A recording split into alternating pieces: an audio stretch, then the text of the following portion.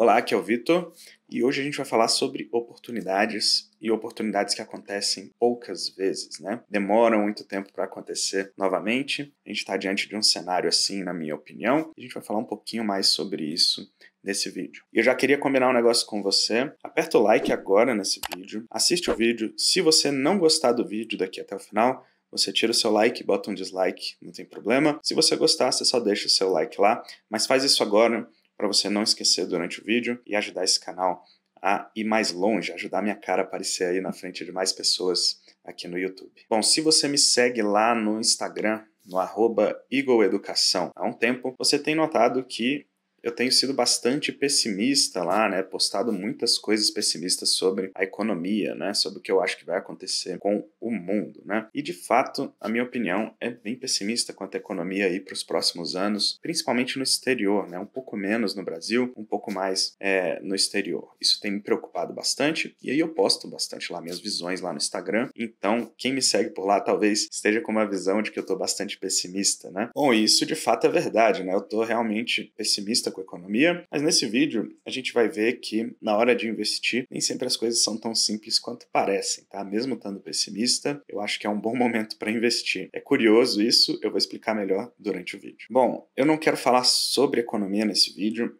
mas você que me segue lá no Instagram, você que segue outros influenciadores que falam sobre economia, sabe que o mundo não está exatamente no seu melhor momento, economicamente falando, né? A gente tem bastante risco, tem muito país é, muito alavancado, né, com muita dívida alta, e o mundo está passando por um momento de alta de juros, né? Isso é especialmente ruim para esses países que têm dívida muito alta, a gente está correndo o risco de várias economias extremamente relevantes, importantes no mundo, é, quebrando ali, né? Então, países importantes ali tendo problemas com suas contas públicas, né? Pode gerar uma grave crise, estourar algumas bolhas que a gente vem formando há alguns anos aí no mercado, e essa é a fonte de preocupação aí de vários analistas que cobrem essa parte econômica no mundo. Né? Se isso acontecer, de fato, as bolsas refletem isso. Né? As bolsas vão cair vigorosamente, com muita força, acentuadamente, e os ativos vão ficar mais e mais baratos. E além disso, da alta dos juros e dos países endividados, a gente tem aí guerras acontecendo, guerras que podem vir a acontecer, né? então tem bastante coisa acontecendo no mundo, tem muito risco no horizonte. Parece que o fim do mundo está batendo na porta, né? como já aconteceu em outras ocasiões na história também. Mas hoje eu queria propor um exercício para vocês e para isso a gente vai aqui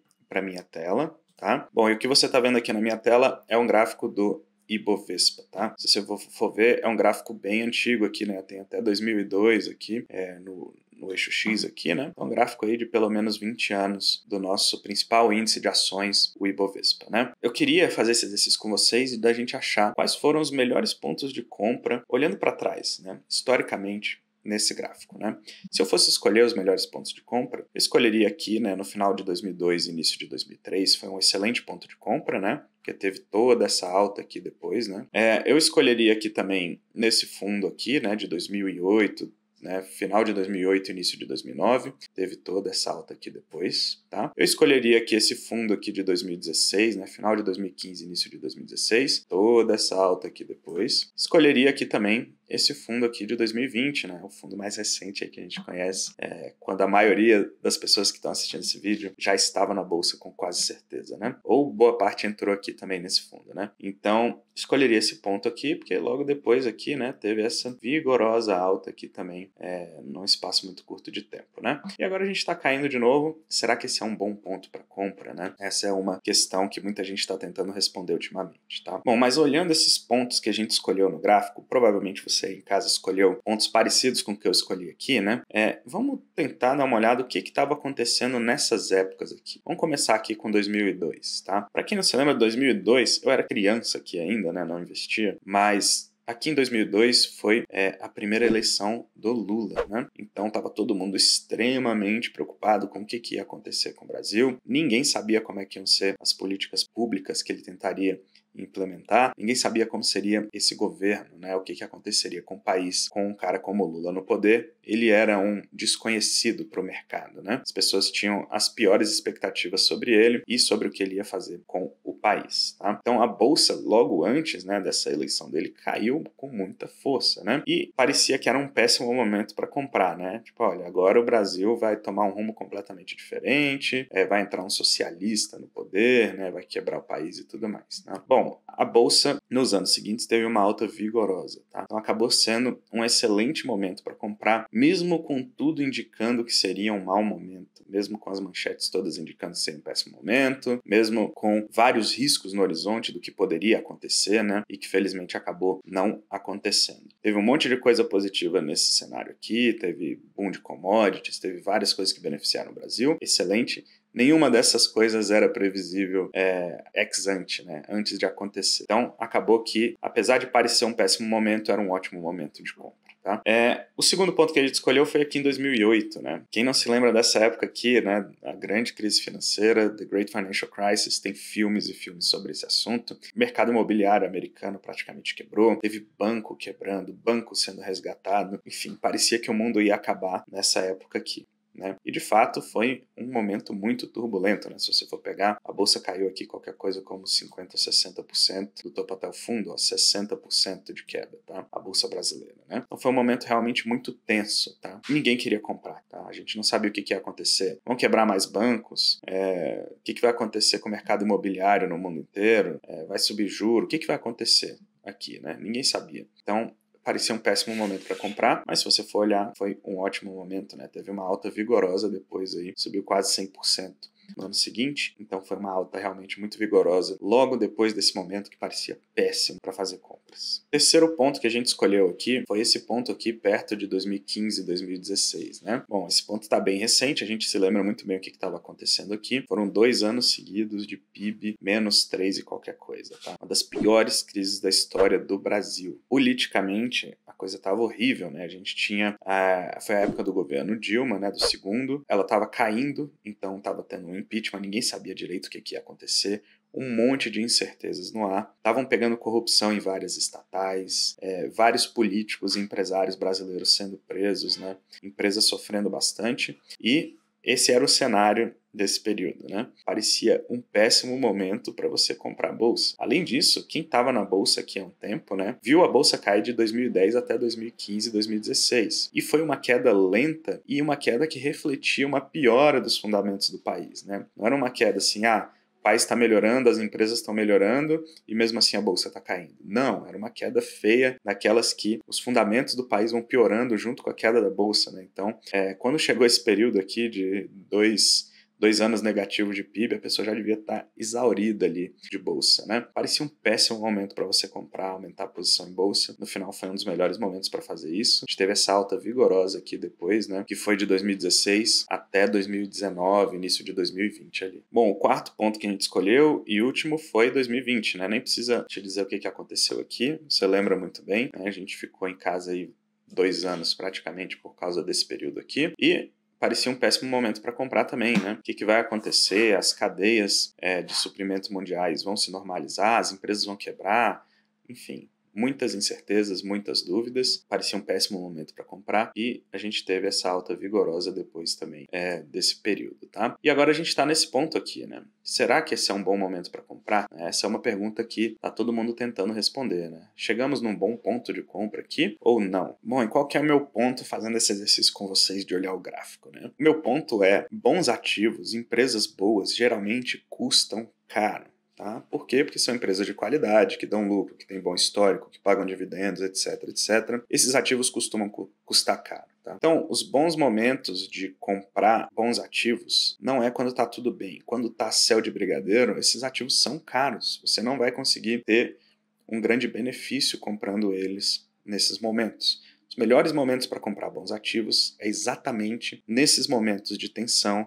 de risco, de incerteza. E por que, que é bom? Porque esses ativos ficam baratos, tá? por causa da incerteza, porque a gente não sabe se eles vão continuar caindo ou não, e aí abrem-se oportunidades para você poder comprar esses ativos. É por isso que existe aquela famosa frase né, que atribuem ao Warren Buffett, que é compre ao som dos canhões, venda ao som dos violinos. Deixa aqui no comentário aqui embaixo se você acha que o cenário de hoje, com guerras, com é, possibilidade de países quebrar com juros subindo, parece mais som de canhões ou sons de violino. Comenta aqui embaixo o que, que você acha dessa situação. Bom, mas eu falei que nesses períodos os ativos ficam mais baratos, né? É, o que está acontecendo? Os ativos já estão baratos mesmo? Como que a gente pode checar isso? Vamos para minha tela aqui de novo, que eu quero mostrar um negócio interessante para vocês, que é esse gráfico aqui do Oceans 14, tá? Esse gráfico é um gráfico de preço sobre lucro do Bovespa, né? E aqui eu peguei todas as ações menos Petro e Vale. Tá? Isso aqui é uma metodologia que o Oceans 14 usa para calcular o preço sobre lucro, é ligeiramente diferente do Bovespa, ele pondera por liquidez, ele adiciona algumas ações a mais também que não estão lá no índice. Tá? E aqui eu excluí Petro e Vale, porque Petro e Vale são muito grandes dentro do índice. Né? E a gente vai olhar isso aqui historicamente, tá? É uma medida, grosso modo, para saber se a ação tá barata ou se tá cara, né? Ela basicamente diz quanto que você está pagando para cada unidade de lucro que aquela empresa dá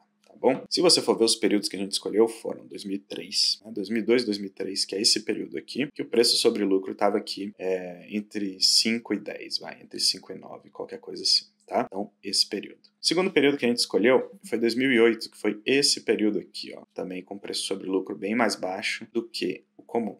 Tá? Terceiro período que a gente escolheu foi 2016, que foi aqui, nesse ponto, tá? Era um preço sobre lucro mais baixo do que o passado recente, mas não tão baixo historicamente, né? Em 2002 e 2008 a gente já tinha visto preços sobre lucros menores. Aqui em 2020 teve essa crise rápida ali, né, que é, acabou dando esse ponto aqui de preço sobre lucro bem baixo também, onde a gente poderia ter aproveitado. E agora a gente está se perguntando se esse é um bom momento para a gente fazer novas compras, né? Esse preço sobre lucro dessas ações menos Petrivale está em 7,5 hoje. Tá? Um valor historicamente bastante baixo. Então, olhando para essa medida bem simplista, me parece que é sim uma grande oportunidade de compra. Tá? Se você for olhar, preço sobre lucro como esse acontece em poucas vezes, em poucos ciclos. Né? Aconteceu em 2002, depois em 2008, ou seja, seis anos de diferença. Depois em 2016, aí sete, oito anos de diferença. E agora em 2022, tá? Mais seis anos de diferença. Então são momentos muito únicos no ciclo. Se a gente perde esses momentos, não aloca capital nesses momentos, e de fato a bolsa sobe, né? É, a gente perde um grande ciclo, uma grande oportunidade de entrar em momentos favoráveis, de comprar o som dos canhões, como manda a famosa frase do Warren Buffett.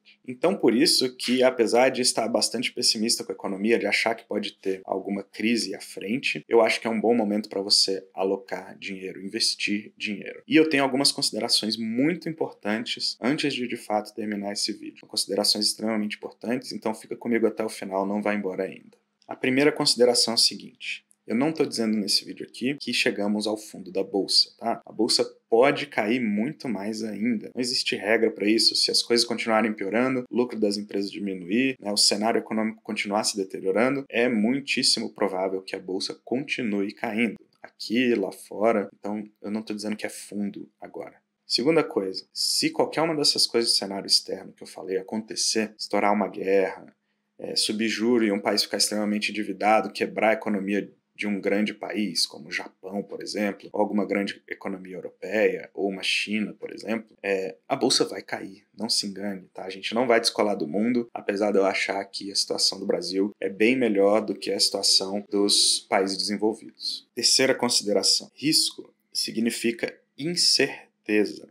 Tá? Para o bem e para o mal. Então a gente está falando de um cenário aqui muito ruim que pode acontecer. O nome disso é risco porque a gente não sabe se ele vai acontecer ou se tudo vai surpreender positivamente. Vai acontecer alguma coisa maravilhosa no mundo, uma grande descoberta que trará prosperidade a todos nós ou qualquer coisa desse tipo. Então a gente não sabe o que vai acontecer daqui para frente, tá? Por isso que o nome é risco, é incerteza. Então, é, Pode acontecer de ter uma grande crise pela frente, a bolsa cai mais. Pode acontecer de ser o fundo da bolsa agora e o negócio subir igual um foguete pelos próximos 10 anos. A gente não sabe o que vai acontecer. Quarta coisa, isso aqui nesse vídeo não é nenhuma recomendação de investimento. Eu não faço recomendação de investimento em vídeos abertos no YouTube. Se você tem um patrimônio relevante investido e quer recomendações de investimento, Vai ter um link na descrição para você falar comigo lá no WhatsApp e a gente conversar sobre a mentoria. Eu dou mentoria individual para algumas pessoas que têm ali 500 mil ou mais investido. Se você faz parte desse grupo e quiser uma mentoria particular comigo, você tem que entrar no link aqui da descrição e aí eu vou poder sim te dar recomendações de investimento individualizada para você, personalizada para você. Quinta consideração: posto tudo isso, eu acredito sim que é um bom momento para você começar a se expor mais em bolsa e também em outros ativos, tá? Não é só bolsa que tá bom para investir, fundo imobiliário tá bom para investir, renda fixa tá bom para investir. Quase tudo que você colocar dinheiro agora, provavelmente daqui a 5 ou 10 anos você não deve se arrepender. Essa é a minha opinião, tá bom? Eu falei um pouco mais sobre isso nesse vídeo aqui, que eu vou deixar para você assistir em seguida, é um vídeo em que eu falo sobre como tá bom para investir ultimamente. Eu te vejo lá. Grande abraço.